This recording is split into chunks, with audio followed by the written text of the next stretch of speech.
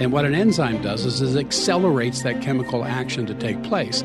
You don't want all of them happening at the same time. You don't want all the meals you're going to eat this year take place at the same time.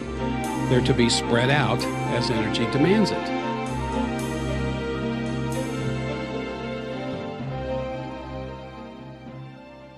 Hey, everybody, it's Dr. Jack.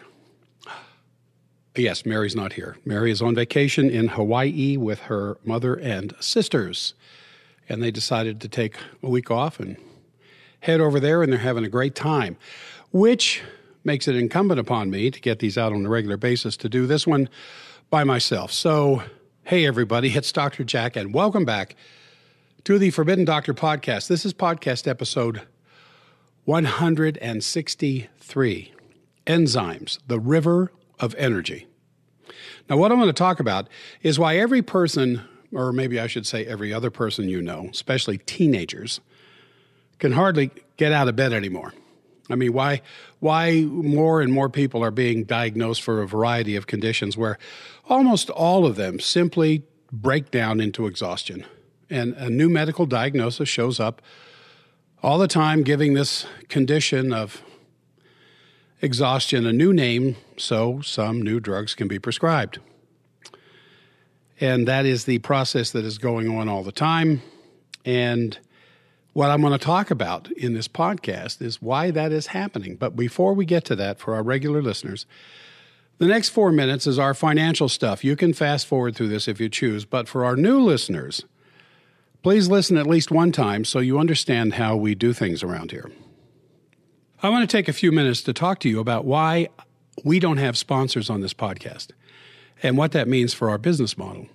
Yeah, we've been approached many times to sell products on this show, but we've always resisted these financially tempting offers because what we're doing here is too important to be seen as biased or dishonest in favor of this product or that product or to be beholden to the views of a particular brand of something. You deserve unbiased information, and we know we have to compromise on that if, if we were to shill for third rate products. And even though we do promote our products, it's because we made it and we know what's in it, and we have the testimonials to back it up. But that said, we don't make money from these podcasts. All of our income comes from your support and the sales of our supplements and the supplements of the one and only true whole food supplement manufacturer in the United States, Standard Process. But we aren't paid by Standard Process. Indeed, they discourage anyone talking about the amazing benefits of their products. So, Standard Process and our own Forbidden Doctor supplements have saved our own lives and helped countless thousands of patients searching for an alternative to drugs for anything and drugs for everything. So the bottom line is we may mention supplements that you can get from our website or elsewhere on the on the web. Uh, the knowledge we share is real, and you can take that with you forever, whether or not you ever buy anything from us. But if you have taken our free symptom survey, then let our nutritional experts consult and develop a personal supplement protocol for you uh, based on your real world nutritional needs. And then if you buy your protocol from us, not only have you taken a huge step in the right direction of your own health, but you've made everything we do here at Forbidden Doctor possible with your support. So thank you for that support. And now, as Mary often says, on with the things they don't want you to know. So, where did all the enzymes go? I mean, enz- our enzymes are back in stock. We've been out of stock for several months because we absolutely insist on the highest quality possible. Uh, we could have had our enzymes back quicker, but we would have had to compromise somewhat on the uh, potency and the purity. But we are back in stock. So, but where did all my enzymes go? I don't mean the ones in a bottle, I mean in my body. Now, remember, your body's ability to produce enzymes quickly reduces after about 35 years old. And almost nothing happens or stops without an enzyme being involved in the process, especially your energy levels and digestion. And if you are having any problem with your get up and go or lingering digestive problems like acid reflux or gassy indigestion, you might want to try our lifelong en- energy enzymes. So, now what is an enzyme? I want to talk about that a little bit, then I want to talk about where they've gone, what happened to them. Because uh, there are many things that have happened over the last hundred years that contribute to the almost ocean of degenerative diseases that we have today in America that did not exist 100 years ago. Or if they did, they were very rare. And, and, I, and when I say America, I don't mean just my country of birth, I, I mean any Western nation. And whether it's on the opposite side of the planet in Australia or in Europe or the Orient, any industrialized nation, they're all having the same kind of problems that we're having here in America. Now, enzymes are what are known as a macromolecular uh, molecular biological cat. It just means they're very big molecules. And an enzyme accelerates a chemical reaction. Now, in the 35 to 38 trillion cells in the human body that the cellular physiologists and anatomists tell us that we have, every single cell has reactions going on inside of it all the time on a nanosecond basis. And I think a nano, if I remember right, it's a billionth of a second. I don't think it's a millionth, I think it's a billionth. And these reactions occur at different speeds. And what an enzyme does is, it accelerates that chemical action to take place. You don't want all of them happening at the same time. You don't want all the meals you're going to eat this year take place at the same time. They're to be spread out as energy demands it. And so almost almost all the metabolic processes that take place inside the cell needs an enzyme catalyst in order to occur at a rate fast enough to sustain life. Some of them have to be very quick, as I said. Some of them are not, not quite as quick. But the metabolic pathways that create the energy that drives the cell, that drives the tissue, that drives the organ, that drives the body, depends upon enzymes to catalyze every single individual step. Now, we've, not we, but physiologists have identified about somewhere around 5,000 biochemical reaction types that take place in the body. And most enzymes are proteins. And of these 5,000 processes, like, like all kinds of catalysts, and a catalyst is just something that makes something happen faster without being consumed by itself, these enzymes increase the reaction rate by lowering something that's called deactivation energy. Now, you're sitting there watching your favorite football game, or now it's going to be March Madness coming up here pretty quick, and you're sitting there, or, or your favorite movie, whatever else, and you're sitting there and you're comfortable. And somebody comes up and says, Hey, I, I need you to come and look at this. I don't want to. I mean, it's right in the, you know, can, can you wait till halftime? I mean, you just, okay, now here comes the catalyst. Hey, the house is on fire. Boom, you jump out of the chair. That's what a catalyst is. That's what an enzyme does. It makes something that's rather slow to take place speed up. Now, enzymes, some of them can make the their action take place many times, millions, many millions of times faster than they otherwise would be. An extreme example, I'm going to give you a big word here um, because we looked at it in school. Uh, 5 phosphate decarboxylase. That is an enzyme. And without that enzyme being presence, being present in something, and it has to do with yeast. If that enzyme wasn't present, the reaction would take 78 million years in the absence of that enzyme to take place. When the enzyme is present, it takes 18 milliseconds when that enzyme is catalyzed into the process. Now, some of you may feel like it takes 78 million years to digest a heavy meal. It's for the same reason. An enzyme activity can be affected by other, other molecules, other enzymes, uh, especially inhibitors. And inhibitors decrease enzyme activity. An activator speeds it up. It's the inhibitors that I kind of want to talk about in this podcast. I want to talk about what is slowing down the enzyme activity in your body. Now, a lot of therapeutic drugs and, and poisons are enzyme inhibitors. Um, an enzyme activity decreases uh, considerably outside its optimal temperature and pH. That's why the pH of the blood stays at a certain range, very small, about 7.2 to 7.3 and a half, that area there. Uh, a little bit either way, but very little because enzyme activity in the blood occurs at that pH and an internal core temperature of about 103 degrees. If you get too hot, which is why a high fever, like one above 105, can be very serious, enzyme activity breaks down. Without enzymes, there's no life. Also, if the pH gets outside, it, like uh, uh, diabetic acidosis um, or alkalosis, other kinds of metabolic conditions that can cause the blood pH to either go acidic or go more alkaline. Very dangerous for life because these enzymes only react in a certain pH and a certain temperature. Like if you go to an emergency room, I've used this example in other podcasts. You go to an emergency room in an unconscious state, they're going to do a blood gas on you right away. They got to find out what the blood pH is because they got to find out they have. Well, they're going to have to buffer it one way or the other. And if they don't, you could die quickly. Now, there are household products that use enzymes to speed up chemical reactions.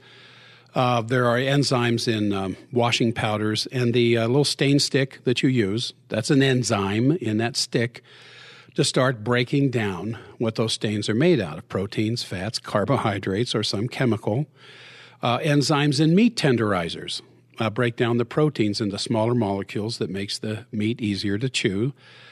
Um, there was a time many a year ago when my son Christian uh, we were on the uh, beach in the Gulf of Mexico. And we're all sitting there having a pretty good time. Most of us are in the sand sunning, and he's down there on the edge of the water, and he starts screaming his head off like he's on fire. And we get down there, and I see the Portuguese man of war that rolled up on the beach, and I see the welts on his legs. Now, do you, and many of you do, know the immediate first aid treatment for a jellyfish sting? Yeah, it's Adolph's meat tenderizer. It's a very powerful enzyme that breaks down the poison that he got from the um, from the Portuguese man of war.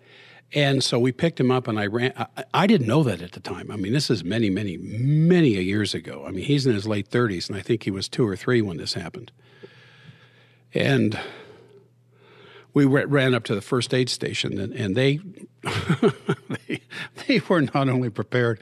There were several boxes of Adolph's meat tenderizer on the counter in the first aid station, because it's a very common thing. And they just sprinkled it all over his leg, and within seconds, I don't think it was a full minute.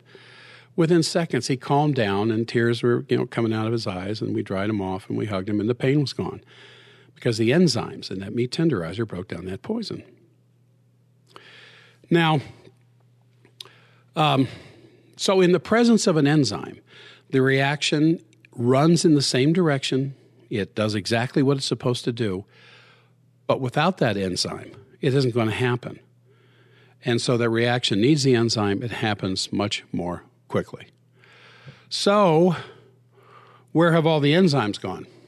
Why are things so different today than they were a hundred years ago? And I think, you know, you can scratch your heads a little bit and figure that out.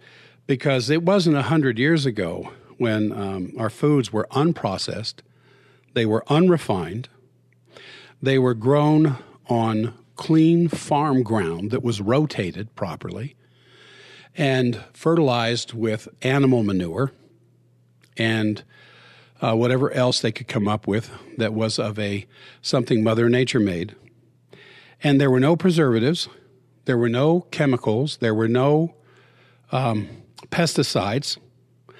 Cooking back then was very simple. There's usually a pot on the stove going all the time with uh, some kind of uh, chicken or beef or fish or whatever else. There was always broth that was present. There was always some food of some orientation that did not come to the house in a box, a bag, or a can. And now you look at today, 100 years later, the agribusiness. I don't know that that word existed 100 years ago. but all the chemicals and all the pesticides that destroy the living soil. Now, if you talk to a farmer who's old enough, he knows the soil must be alive. The soil, the topsoil, the humus needs to be several inches, if not several feet deep, which you will hardly find anywhere anymore, except up in the Kettle Moraine in the Wisconsin area, or in primitive areas up in the hills that have never been farmed. And that humus is alive with bacteria and all kinds of molds and all kinds of um, other living organisms that bring life and energy and minerals into the roots of the plants that are there but load that, that um, soil up with life and power.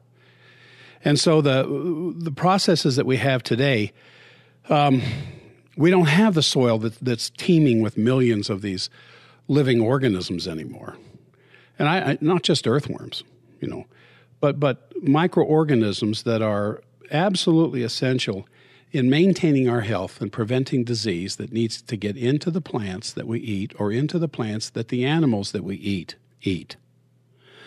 And dead soil, and the reason they have to so heavily fertilize it is because it's so dead, is that soil is deficient in enzymes and it's deficient in micronutrients and, and soil based organisms, especially the beneficial microbes, which help prevents the you know, the proliferation of intestinal toxins. You've heard Mary and I talk about this endlessly about the gut and the health of the gut. And this already serious um, depletion of our food is then accelerated on top of all of that by the way most Americans eat. We gulp down this um, pesticide laden coffee and, and pastries that were made out of refined flour and sugar and margarine, all kinds of bad oils for breakfast. We, we rush by fast food uh, restaurants for lunch. Uh, we grab some kind of canned or frozen sauce and soup and chemically treated vegetables because they weren't organic. And the hormone laden meats because they were commercially processed meats that are loaded with hormones. Eating foods that are loaded with herbicides and pesticides. And we hardly have a chance anymore. Uh, and, and then wherever we can to speed things up, we throw it in a microwave to heat it up quickly rather than taking the time to make a real meal. And so, meanwhile, in the in the constant quest that, I mean, look at all the the uh, the gym activity and the gym membership, where people are just you know this constant quest for a flatter stomach and and trimmer thighs, they're just consuming artificial artificial um, sweeteners and and all kinds of um, fake fats, the bad fats, the bad oils, by the ton. And so, in addition to the the agricultural and, and the dietary influences that I'm talking about, there's all other kinds of uh, poisoning of enzymes by chemical exposures to the just the the uh, common dental practice of root canals. And we have podcasts on that about how all root canals are bad. All of them have a, a festering pustulence and poison at the very tip of that root, even though it you don't feel it anymore. You can't feel that going on because there's no nerve. The pulp was removed. You can't feel it. But the poisoning is going on all the time. Now, I I think it was the EPA where I checked like about 400 pesticides are currently licensed for use on American foods. Um, over a billion pounds of this stuff is dumped into our farms, our forests, our lawns, our fields. And speaking of lawns, you know what the uh, most dangerous profession in America is when it comes to poisoning, the kind of poisoning that I'm talking about. It's professional golfers. Just like for, for men, and I, and for women who are professional golfers, the most dangerous, poisonous uh, uh, employment for a woman is to work in a hair salon because of their constant, constant exposure to poisons and toxins. And unfortunately, we're not informed about which pesticides or how many pesticides are being used to produce the food that you're buying at the local supermarket. So, what do the pesticides have to do with enzymes? Because that's what this podcast is all about. Well, all poisons, including pesticides, work by destroying an enzyme stopping an enzyme from happening. Um, let me use an example of cyanide. The reason why cyanide kills so fast, so quickly, in less than a minute, is because there's a very important enzyme that's involved in the last process of um, the production of oxygen in, inside the cells. And that enzyme is destroyed by the presence of cyanide so that the, the last step of getting oxygen into the cells of our bodies, and of course, our cells will not work without that oxygen, and the oxygen production that takes place inside the cell is stopped immediately in the presence of cyanide that kills that enzyme. But we have all these other things that are going on. And since enzymes are the source of life for the body that I've been talking about, any substance that kills an enzyme is a threat to your health. Now, all the synthetic chemicals, the pesticides, the herbicides, and by synthetic, I mean Mother Nature didn't make it. Uh, and Mother Nature makes pesticides. Mother make, Nature makes herbicides. They're in the form of other kinds of plants. Those of you who are into this know that you can um, grow certain kinds of herbs, excuse me, certain kinds of plants in your garden that tend to keep pests away. I mean, Mother Nature has this covered, but we wanted to speed it up, and we so we create all this stuff, and um, what happens is the DNA, the RNA uh, that's located in the nucleus of our cells. Uh, processes that allow transcription to take place, which which is the messaging getting from the nucleus of the cell out into the fluid of the cell for the cell to do its work liver cell, kidney cell, ovary cell, whatever. And these poisons stop those things from taking place. And if you have a certain kind of a poison, whether it's hair care, house products, uh, a certain kind of food you like that's not organic, and you get enough of it, it will affect a certain variety of enzymes that eventually a disease process will show up because the enzymes aren't there to do their job. So, research has well documented the damage of, of pesticides to uh, enzymes. Um, I could go on and on about this uh, in my notes here, but I don't think that's necessary. Just, but just to mention, the carbamates, which are in are in ant and a fly and um, roach killers, um, poisons enzymes that control cellular function inside those bugs. And just as we can have cellular processes killed by certain poisons, these are targeted towards them. Then there's the you. I, most of you have heard of organophosphates that are used to that, that's usually the commercial uh, pesticides to to control the insects in agriculture and an organophosphate blocks enzyme activity in the nervous system and even though bugs are rather primitive compared to us as far as physiology is concerned they still have a nervous system even if it's just ganglion fibers and what organophosphates do is stop that process from happening. What's an organophosphate do to you if you get enough of it? It stops the nervous system from working correctly. Your nervous system stops working correctly, what happens? Well, there are certain processes that aren't going to occur. And then there's the uh, halogenated um, pesticides that they use for insects um, in agriculture that will poison certain certain functions inside the cell. Now, the um, these things are absolutely dangerous to human health because they stop the process of enzymes. Some of them will stop the clotting of blood, which is also used with um, certain rodent poisons. But that same poison inside of you that can come in through your food supply will stop the clotting of blood in your body, and you can hemorrhage. So the spraying of these pesticides is, you're never told about that. Do you get a notice if you're downwind from a big commercial farm that we're going to be spraying pesticides today? You should close the windows of your house or go on a vacation for two weeks? No, that's kind of silly. And then there, if you read the label, there's the active ingredients and then there are the inert ingredients. And you're told uh, a little lie here when they tell you that the inert ingredients don't do anything. Yeah, they do. They make up the bulk of what's in there, and it makes the pesticide much more potent, much more easier to apply. And a lot of these inerts are extremely toxic, but the manufacturer doesn't have to tell you about this stuff because they're, they're a proprietary mix, they're a trade secret. And so the USDA allows these things to be sprayed. The FDA allows these things to show up in your food. And simply, if we don't know what's in the pesticide and we don't know where they're being sprayed, how can you protect yourself? Well, that's part of what this podcast is about. Number one, you buy organic. You'll hear Mary and I talking about that all the time in the United States and in some other countries.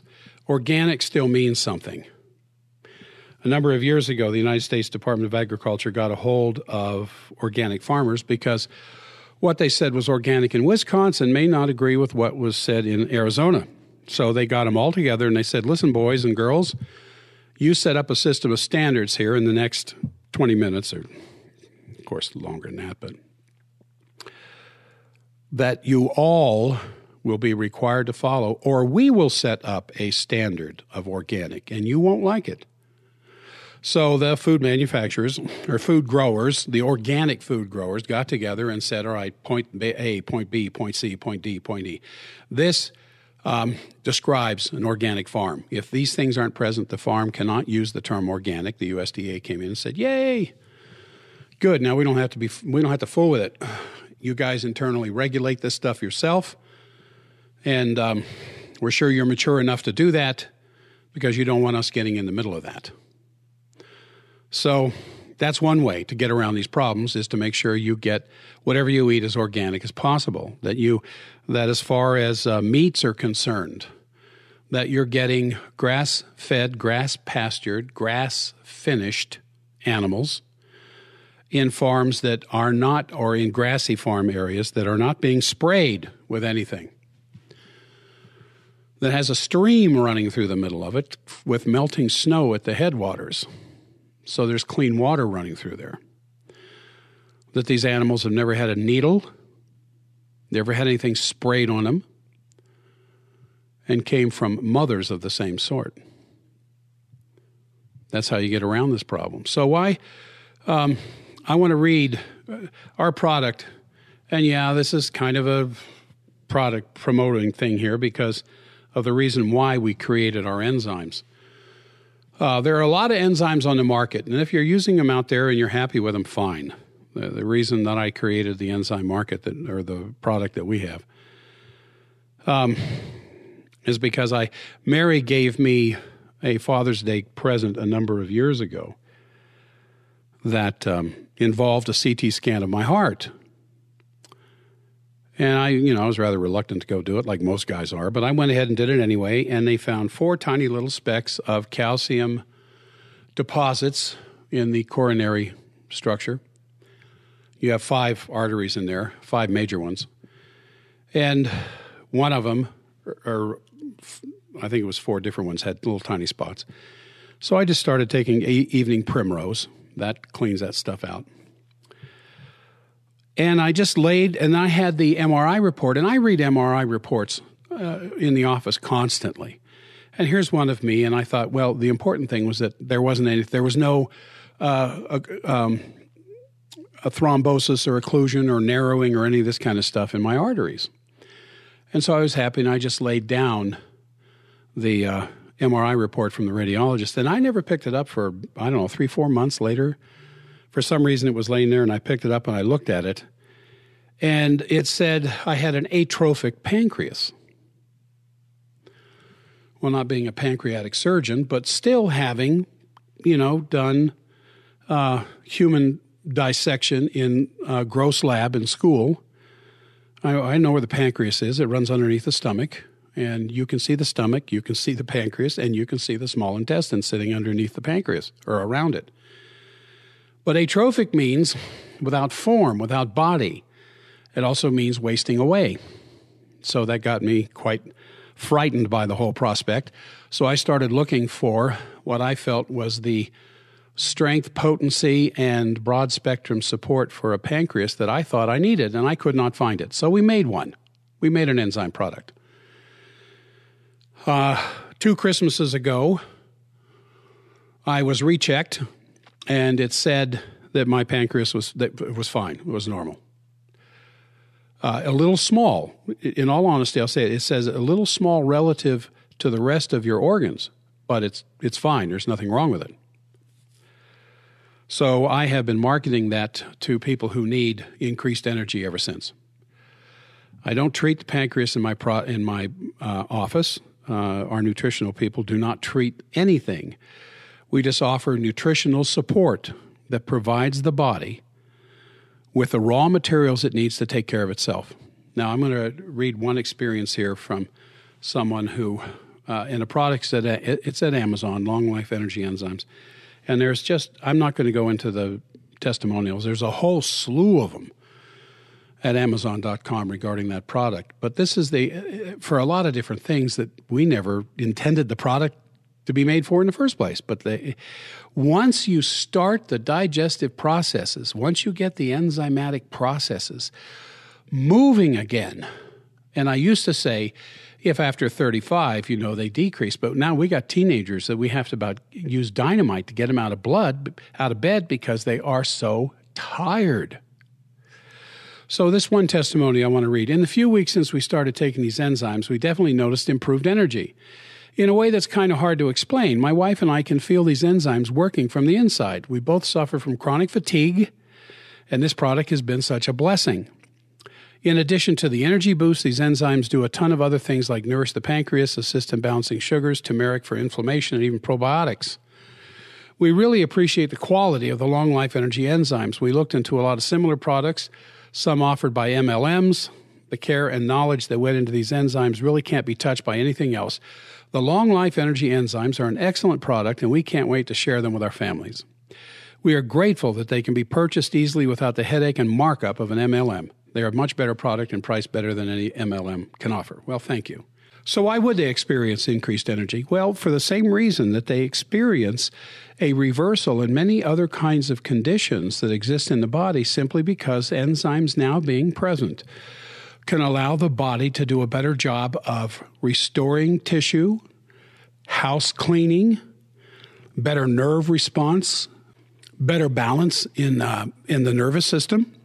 So, some of the things that we have seen conditions uh, improve, not because we're treating them, it's because we're giving the body enzymes that allows the body to take care of them. I have them here in alphabetical order. Uh, acne, allergies, appendicitis, arthritis, asthma, bedwetting, broken bones, bruises, cancer. Although we don't treat cancer, uh, we will give you, uh, at your request, uh, a um, supplement recommendation that helps your immune system to, to do a better job of taking care of itself. Candidiasis, cardiovascular disease, diabetes, disc problems, fibroids, gallbladder disorders, gastritis, gastric ulcer, headaches, herpes, hiatal hernia, hyperactivity, ADD, infant colic, insomnia, intestinal disorders, kidney stones, menopausal symptoms, mental disorders. We've even had a child with Downs, the, the parents saying when he takes these enzymes, he calms down, his anxiety disappears. Who knew? Osteoporosis, parasites, premenstrual syndrome, prostate enlargement, psoriasis, seizures, sprains, tendonitis, and weight problems. These are some of the things where we have seen that benefit take place.